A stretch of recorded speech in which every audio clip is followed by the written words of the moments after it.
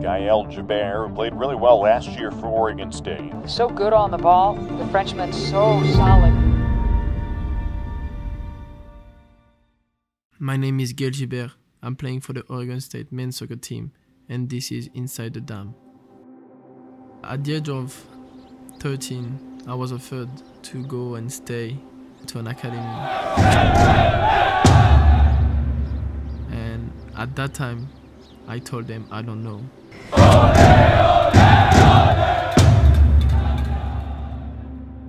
The following year, I had the same opportunity. They called me again. My dad came up to me and said, Son, what do you want? And I told him, Dad, I want to be a professional footballer. At the age of 17, January 11th, 2018, I lost my dad. Uh, I remember that weekend, it was on Thursday, and that weekend I had a big game. Uh, that game was one of the worst game in my life and one of the best game in my life. The worst because for the first time in my entire life, I realized that my dad was not there. He was no longer there to slap me or give me a smile, you know.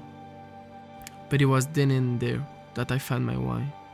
Um, I think to achieve your dream, you have to find your why. And I think after that game, I found it. And that gave me the strength to be who I am today. The biggest reason why I wanted to come to SU was was the coach, Terry Boss.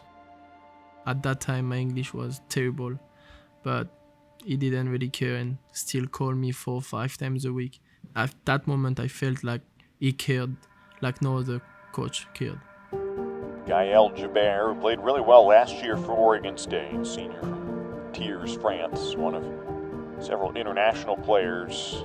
Gibert has been a handful on that Oregon State back line. So good on the ball, very aggressive. The Frenchman so solid defensively for Terry Boss. My dad deserved to have his last name behind the jersey.